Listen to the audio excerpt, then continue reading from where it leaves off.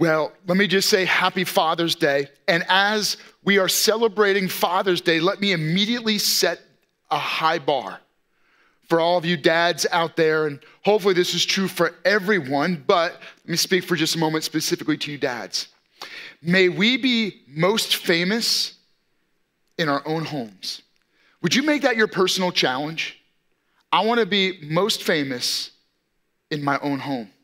I want to be respected most by those who know me best. There you go. I told you I'd just start off with a bang and I'm going to set a high bar. Would you strive to be respected most by those who know you best? Would the people in your own family, would your kids look up to you more than anyone else in your life because they know you better than anyone else, and what they know about you causes them to respect you more than anyone else. Now, before you start feeling guilty and you start thinking about all the ways that you've let your kids down or you haven't lived up to that high bar, let me just jump right in and say, yeah, me too. Yeah, I have some pretty epic moments where I've had to go to my kids and admit some deep flaws or failures. Some profoundly embarrassing moments. And one of, I remember in one of those moments when I was just sharing with my, particularly with my daughters, and one of them just said, Daddy, I respect you more because you shared that with us. Because the way you've handled that. Wow. I can tell you that in that moment, it almost brought tears to my eyes to think that here I was admitting a, a failure, something I had done wrong. They said, Daddy, I, I respect you more because of that. What, what you think is a flaw may, may be a feature in your life. But, but we live in a, a world and a culture that has no regard for honor, no regard for character, no regard for integrity.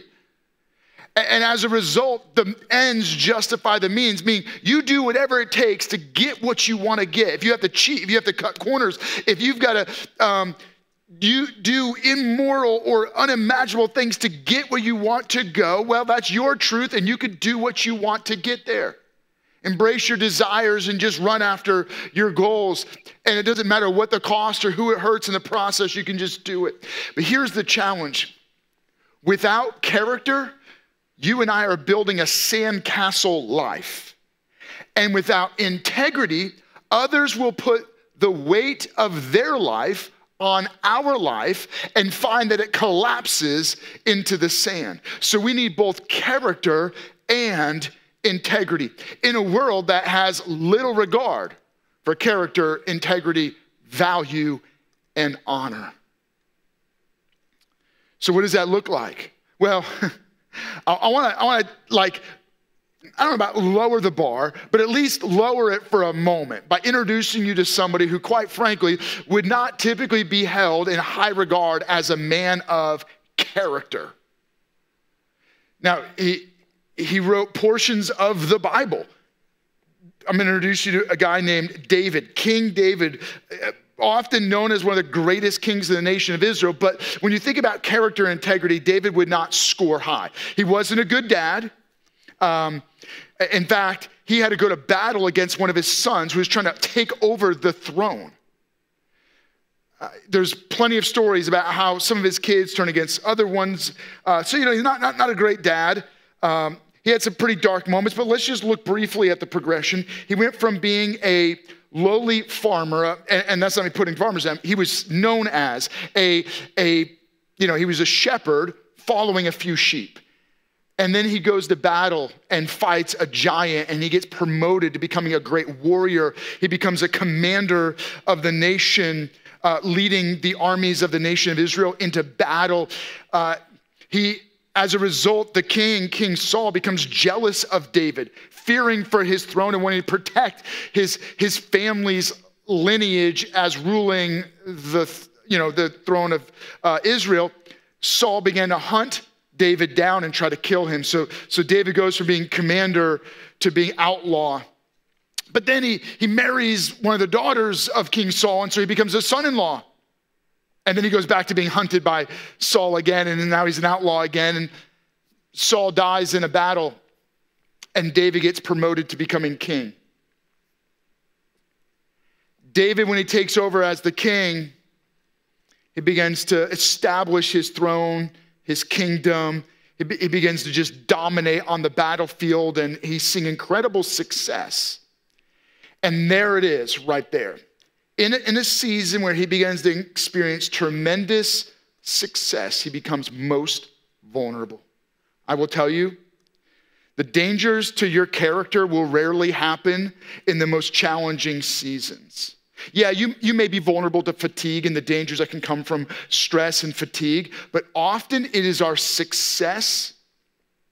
It is our, it's the times when we feel like we're winning and we're doing well that pride can step in and, and begin to put cracks in the, in the foundation of our character. It, it's when overconfidence and arrogance can begin to seep in and begin to bring um, deceptive seeds that get planted into the fertile soil of our own hearts. And, so, actually, it's success and good times, and when things are going well, the often we become most vulnerable. And that's David's story. Uh, if you jump into the historical account of his life as recorded by the author of First Chronicles, you, you have this story, and we're going to jump into First Chronicles chapter 21, where it just reads this way Satan rose up against Israel and incited David. Now, it's interesting that the author immediately attributes this situation to Satan. And, and, and it's true, right? Sometimes when we do wrong things, people want to blame Satan. But the truth is, Yes, there's an intelligent evil plotting against each one of us, but very often it really doesn't even have to be Satan. It doesn't have to be an intelligent evil fighting against us. Sometimes we set ourselves up for failure. But let's keep reading. Satan rose up against Israel and incited David to take a census of Israel. So David said to Joab, his commanding officer, and to the commanders of the troops, Go count the Israelites from Beersheba to Dan, and then report back to me so that I may know how many there are. Now, what's the problem with this? Because that doesn't seem like a big deal. You, you would, I mean, we take a census every 10 years. Uh, it would seem perfectly normal for a king who's a commanding general to want to know how many soldiers he has, how many fighting men he has. And that's exactly what this census was about. Well, here's the thing there's a specific can, uh, command earlier that specifically tells kings never to count the fighting men of Israel. And there's a specific reason for that. What God was doing was He's saying, I want you to trust me, not yourself. You take up a big census, it's going to make you arrogant and overconfident. You're going to start to trust your ability based on how many fighting soldiers you have rather than trusting me to win your battles for you, rather than trusting me to fight through you. And so God was challenging kings and future kings to never put their confidence in themselves, but to dig deeply in trust of God to fight the battles. Why? Because God can do more with a few than we can do with many. Now, that's not the way it always was for David. Interestingly, if you go back before this moment, David wrote a song about this. In fact, uh, it's recorded in the book of songs or the book of psalms which you know some of you are very familiar with the psalm like psalm 23 the lord is my shepherd i shall not want. Well what's interesting about the psalms is they were kind of like the nation of israel's hymnal. And so david wrote some of these songs to be sung by the people. He's putting lyrics in their mouth. Well listen to one of these songs. It's psalm chapter 20 written by David to be sung by all the people. And he's leading them in this song. And it, and it says this I'm just going to read a few of the lyrics. May he, God, give you the desire of your heart and make all your plans succeed. It, it, right there, right off the bat, David is saying, it's God who gives you the desires of your heart. It's God who causes your plans to succeed. May we shout for joy over your victory. I mean, may all of us celebrate the victories God gives you and lift up our banners in the name of our God. A banner was what you would, you would lead into battle. We, we lift our banner to God. We say, God, it's you who gives us victory, who gives us triumph, who, who gives us good success. May the Lord grant all your requests. So again, he's leading the nation to sing. God, may, may, may it be God that grants all the requests of his people. And then in this verse, he specifically says this. Uh, here's just a quick line of the lyrics Some trust in chariots and some in horses. These are, these are, that's like saying some trust in their, in their fighter jets and some in their tanks. But we trust in the name of the Lord our God. What is David saying in this psalm? As he's leading the, the people to sing it, he's saying, we, we don't put our trust in anything of our own, we put our trust in God. We, we, we, when we sing, we're singing that God goes before us. It's God that gives us victory. It's God that gives us good success, not ourselves. And, and now you fast forward to another moment where instead of taking that posture, David's going, Let me count up all the people. And in fact, Joab tries to warn him. Verse 3 and 4. But Joab replied, May the Lord multiply his troops a hundred times over. May God give you way more than you could ever imagine. May God, may God expand your army a hundred times. Think about in your situations where you're starting to put confidence in yourself. Joab would have said to you, May God increase your bank account a hundred times. May God expand your, your wisdom a hundred times. Would He expand your skills a, hundred times? Stop trusting yourself. God can give you way more than you could ever imagine. My Lord the King, are they not all my Lord's subjects? Why does my Lord want to do this? Why should he bring guilt on Israel when you trust yourself when you expose flawed character, you're hurting everyone. Right, dads? When, when you fail, hurts the whole family. Right, employers? You, you cut corners, and it hurts the whole company. There's some of you that you've been put in positions of leadership and influence. When you cheat, when you cut corners, when you do the wrong thing, when your flaws, when the flaws of your character come out, it doesn't just hurt you, it doesn't just hurt a few people, it hurts a lot of people. And that's what Joab is warning David. David, you're going to bring guilt on the whole nation. And then it says, the king's word, however, overruled Joab. David's flawed character overrules the warnings and the cautions of his greatest advisors. Some of us have run over the warnings of other people. And there's a, there's a, there's a principle that should jump off the pages. Because here's the thing Here, here's what I want you to catch David had a deep belief in God. David led the nation in worship, celebrating how much they trusted God. He had deep beliefs that were not aligned with his behaviors. And here's what happens when your beliefs are not aligned with your behaviors, you make decisions that change the course toward a different destination. You end up somewhere you didn't want to be. And often, where you end up, where you didn't want to be, is not at all where you plan to go or the course you set. But because your beliefs said this, but your decisions aimed you that way, you had a different destination. So, how do we? How do we get this right? How do we learn from David's failure in order to align our character with the right way of living?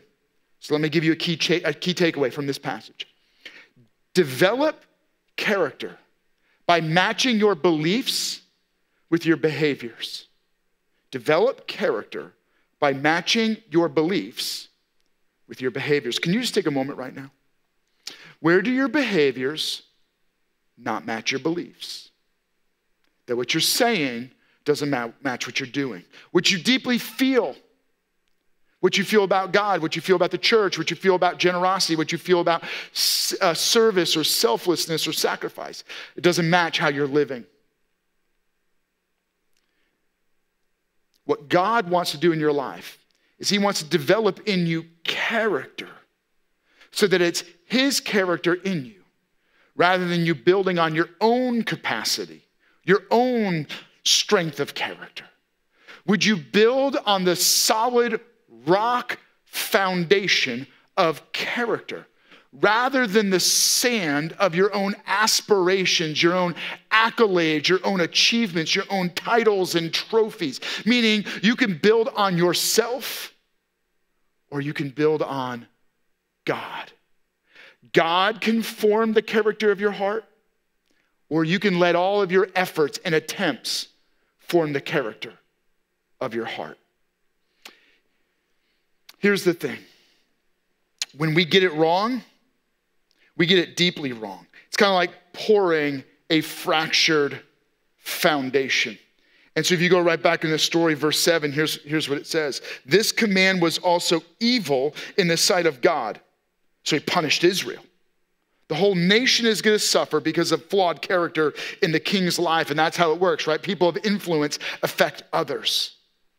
And, and the key here is that there is something under the surface at a, at a character level. But what's interesting is character is not even the foundation. Do you know that? Your character is not the foundation of your life. No, there's one layer deeper, and it influences character, right? Because even a foundation is laid on something.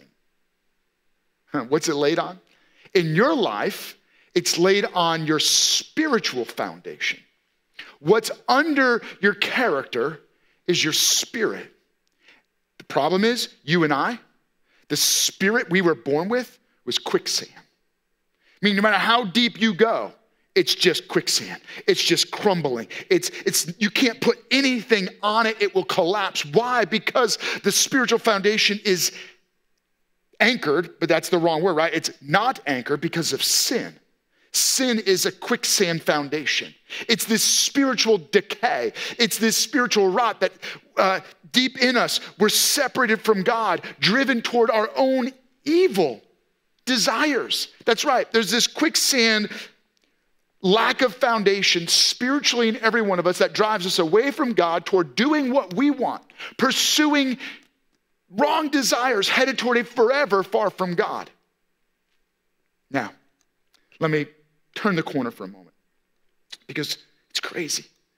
David's mistake, David's failure, David's exposure of deep, flawed character. And yet, this isn't how David's remembered. Now, if you jump ahead, so we're going from the Old Testament of the Bible, this is First Chronicles, right? This is before the time of Jesus. Now, I want to fast forward and we're going to jump ahead to Acts chapter 13. This is after the time of Jesus. You have all this in between. In here is where you have the story in the life of Jesus, the Gospels of Jesus that give an account of his birth, his life, his death, his resurrection. We get to Acts, which is the, the historical account of the church, the early church. You get to Acts chapter 13, and the apostle Paul is preaching about Jesus, and he brings up David, this really flawed guy. And he says this in, in Acts chapter 13, verse uh, 22 and 23 God testified concerning him, I have found David, son of Jesse, a man after my own heart. Hey, let's just pause for a moment. Dads, let's make that our desire. Let's be a man after God's own heart. Men, young men, boys that are in the in, gathered with us. Let's strive to be men after God's own heart. But what? He's talking about David. David, who God says, I'm going to look and find a man after my own heart. Really? He will do everything I want him to do. Really? From this man's descendants, God has brought to Israel the Savior Jesus as he promised. So not only is David known as a man after God's own heart, through David, his children, his grandchildren, his great grandchildren, you go multiple generations. You know who shows up on the scene through the lineage of David? Jesus. What? How could this be? Because your failures do not define you. In fact, the flaws in your character do not have to be the do not have to have the final word in your life. And so this is a message of hope, not despair. It's a message that, you know, like I don't want you to walk up here with your head hung low and feeling discouraged and beat up. Not at all. Whatever is in the past does not have to define you if today you recognize that God wants to remold your character. God wants to make your character in this moment this was what David saw as his moment of arrival, his, his high achievement of success when pride and arrogance began to set in, was actually a valley of character formation. God needed to remake some things in David's life. You may have reached a moment of high success in the workplace, only to find yourself in a valley of deep failure in the home. Maybe you, you found great success in a hobby. You, you, you, you shot your best score on the golf course. You, you hit that, you finally got that trophy buck, or you finally got that achievement you've been aiming for, only to see something else decaying in the deeper areas of your life, and it seems to go that way. Here's what God's doing He's trying to take this moment of exposed, flawed character and use it as a formation moment to remake character, not in your image, but in God's image. How is that possible? Well, first you got to deal with the quicksand. The story can't end with David, it has to go to Jesus. Because only Jesus can deal with quicksand stuff. Where in the inside of you, the deepest part of you, things are falling apart. So, what Jesus does is he comes from heaven to earth, he dies on a cross to embrace our sin judgment, our sin failure, our sin shame. He takes the curse of sin on himself. He dies in our place. And imagine Jesus' life like this giant concrete truck with the chute pouring into the quicksand of our deep in the deepest places of our heart pouring in footers and foundations of concrete into this deep place where was, there was nothing but quicksand and in place pushing out the, the rock pushing out the, the weakness pushing out the quicksand and in place pouring in a solid foundation. That's what Jesus died for and rose again. Because, right, Jesus didn't stay dead, he rose from the dead, and in his resurrection, he triumphed over sin, over death, and over eternal judgment. Say, anyone who believes in Jesus by faith is forgiven. This sin rot, this sin weakness, this sin decay is removed and replaced with God's Spirit. Hey, so let's pause. Rather than for a moment just talking about character and aligning your beliefs with your behaviors, let's just start with belief. You got to begin with belief. Are you willing to receive the rock foundation of Jesus in the deepest, most intimate places of your life? Are you willing to open up your life and say, Jesus, would you remove the quicksand and replace it with the rock of your love, your forgiveness, your life? Jesus, I believe in you by faith. I give you my life. I recognize that I can't do this on my own and I need you. If you're ready to make that decision, would you say yes to Jesus right now? You're saying yes to Jesus as your Savior, forgiving you of sin, rescuing your life, giving you a rock foundation, and as your Lord. You're saying, Jesus rules over my life. Jesus is the King of my kingdom. I surrender. If you're making that decision right now and you're saying yes to Jesus, would you let us know? You could scan the QR code that's on the screen, and when you scan it, we encourage you to fill out that form, and one of our pastors will follow up with you. Actually, your campus pastor is going to follow up with you. Man, we're so grateful for our campus pastors. Such amazing leaders and pastors. They love you, they're praying for you, and they want to encourage you as you begin this new journey in relationship with God. And by the way, you're saying yes to Jesus, and you're saying yes on Father's Day. What a great time. Welcome home. Welcome to the family of God. Now, let us know, and then go let somebody else know. Now, one of the first things, the first thing we want you to do is say yes to Jesus. Next thing we want you to do is let us know. Final thing we want you to do is let somebody else know. Go tell somebody in your life who doesn't know Jesus, who doesn't go to church, tell them your story. What happened to you today? Go share good news with others who, frankly, are just living in some bad news. Now, let's jump back into the story of David. Now, David, his beliefs were not aligned with his behaviors. You just said yes to Jesus. You have belief. Others of you have said yes to Jesus, but your behaviors are not aligned. This is where character comes in. How do we realign our behaviors with our beliefs? So let's go back into this story and let's examine this a little bit more because there's some important lessons that we can learn right from this story. It's this. Uh, if we go back to um, uh, 1 Chronicles chapter 21, verse 8, we read this. So, th- this is the moment where it says that this command was evil in the sight of God, and God said, I'm going to punish the whole nation because of you, David. And the very next verse reads this way Then David said to God, I have sinned greatly by doing this. Now I beg you, take away the guilt of your servant. I have done a very foolish thing. It's a powerful lesson here. Character means taking responsibility. Today, I want to talk a little bit more to men than anybody else. When your beliefs are not aligned with your behaviors, own it. Take responsibility. Young men, don't you cut corners. You take responsibility. Don't blame somebody else. Don't blame your girlfriend. Don't blame your parents. Look, I, I, get it. We live in a culture where everybody else is, it's everybody else's fault for your flaws. Everybody else is the reason why you've got broken things in your life. Good, fine. We'll acknowledge that. But today, pointing out their flaws as the reason for your flaws still is not going to fix your flaws. So even if we acknowledge that, and we pointed out, let's now change it. How are you going to fix the flaws in your character? Blaming someone else is not going to fix the flaws. So here's what we got to do we got to take responsibility for our own flaws. We got to take responsibility for our own mistakes, our own failures, our own broken behaviors. So, can I challenge you right now? Real men take responsibility. You want young men, you want to grow up and be a man, take responsibility. Boys, let me challenge you. Become a man by taking responsibility. You can see who's a leader by who's willing to take responsibility. Who steps up and says, That was my fault. That was my bad. I could have done better. Because that means they believe they had an opportunity. That means they believe they had enough leadership or enough influence to have made a difference. Stop blaming everyone else. Stop passing the buck. Stop thinking it's someone else's fault or someone else's problem. Fine. Go to counseling, get therapy, but at some point, take responsibility for your life, your actions. And you notice that in David. David says, God, it was me.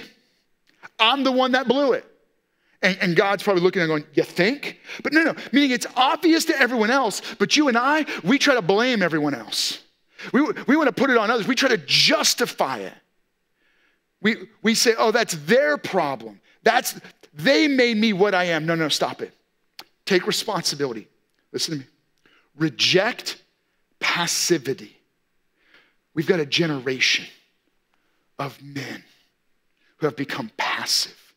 They become followers rather than leaders. They're, they're following their wife, they're following their children, they're following the bad example of a, of a boss, the bad example of their friends. Can I challenge you, men? Step up and be a leader. Reject passivity. Reject waiting for someone else to go first. You step up, work on your character, and lead the way. Let, us be godly men who reject passivity. We, we've got too many wives in our church that are waiting for their husbands to be godly leaders, that are waiting. We, we got too many people in our community that are waiting for someone to step up and lead. Men, let's be the kind of people who step up, reject passivity, and take responsibility. If, I, if we see an issue around us that's a problem, let's step up Take responsibility and get involved. Let's stop waiting for someone else to do it and let's start being part of the solution. Okay, I'm done preaching that point. that also means, though, that when we've blown it, we got to face the consequences. We got to be willing to take the consequences. I'd rather take the consequence for my flawed character and own it than to have someone else deal with the mess. Let me face the consequence because at least then I can clean it up and I can fix it. Here's how it works in David's life. You go to verse 17. David said to God, Was it not I who ordered the fighting men to be counted? I, the shepherd, have sinned and done wrong. These are but sheep. What have they done? Lord my God, let your hand fall on me I don't want my kids to suffer because of my broken character. I, I don't want my kid, my family to suffer because of my flawed mistakes. I, I don't want anyone else around me to, to suffer because of my sin. God, I'll own it. Work on me. That's taking, that's taking the consequences and the responsibility. Let, let me keep moving. Don't take the easy way out. David could have just let the nation suffer and taken the easy way out, but he says, No, put it on me. Unfortunately, a plague began to break out over the nation. That was the consequence. David is pleading with God. And, and, it has this kind of metaphorical picture of this, this death angel that's just devastating the nation. And then it stops at a certain point at the threshing floor of Araunah. It says that David sees this and, and, he goes to Araunah and says, Okay, okay, I, I got to offer some sacrifice to God right here. And, and Araunah says, Yeah, absolutely, you can have it. I'll give you the oxen to give to sacrifice, I'll give you the land. And David, this is this important moment. David says, David, King David replied to Araunah, No, I insist on paying full price. I will not take for the Lord what is yours or sacrifice a burnt offering that costs me nothing. David is very aware that taking responsibility means paying the price, paying the full cost. That doesn't mean I have to beat myself up. It doesn't mean I have to take the lashes, but it means I'm not taking the cheap way out. I'm not taking the easy way out. It means usually, let me just give you a quick thought. If you, if you think about this, the right way is usually the hard way. The right way is usually the hard way. You take the easy way. Don't cut corners. Character means that the ends never justify the means. When you have godly character, the means the ends never justify the means. Meaning, it's not just about where you're going, it's about the process of getting there. God is concerned about your character more than just what you're accomplishing. He's, car- he's concerned about how you get there, not just where you're trying to get to. So let God work on you in the process. It's not just about the ends, but the means. Some of you think that because what you're trying to do is the right thing, it doesn't matter how you get there. And I don't even know that we think deep we think deeply about that, but we're willing to cut corners. We're willing to cheat. It's tragic that we live in an era when character and integrity are surprising and shocking. Let's be the kind of people then that regularly shock and surprise others with our character and our integrity. Let's go back to verse 13. David said to Gad the prophet, I am in deep distress. Let me fall into the hands of the Lord, for his mercy is very great but do not let me fall into human hands. David says, I'm going to throw myself before God. If you fast forward to another psalm, song that David wrote in a time of great distress because he had done wrong. He wrote this in Psalm 51, verse 16 and 17. For he's saying to God, For you do not desire sacrifices, or else I would give it. You, you don't delight in burnt offerings, I mean by me offering animals. Remember, you're talking about ancient time when that's what you offered. The sacrifices of God are a broken spirit, broken, submitted. A broken and contrite heart, contrite, surrendered. A submitted spirit, a surrendered heart or will. These, O oh God, you will not despise. Character is strengthened in brokenness when we, when we don't think that we're all that. Success will bring you up to the point where you start to think that it's your, you're the source of your success. You're the source of your good fortune. You're the source of your achievements and accomplishments. And so God will work through seasons in your life to bring you to a place of strengthening your character in a place of brokenness. Brokenness is not the same as woundedness. Woundedness is when we're hurt by our circumstances. Brokenness is when we willingly surrender to God. Would you bow your heart to God? Would you surrender your will to God? Here's what I know God works most through people that have the deepest brokenness in their spirit and the most surrendered will. Why? Because then they don't take responsibility. I mean, no, let me say, they take responsibility. They don't take pride. They, they don't take uh, illegal ownership and possession of things that are not theirs. They acknowledge the authority of God. They surrender to the will of God. They're submitted to the way of God. And they're not taking, they're not taking illegal ownership of things that God has done and is doing in and through their life. So can I challenge you and encourage you? I, I want this to be an encouragement. Let's be individuals who are growing in character as we have our beliefs align with our behaviors. Can I, can I take a moment and just pray over each of you right now? Would you, would you, would you connect with me in prayer? Would you receive this prayer? I want to pray over you.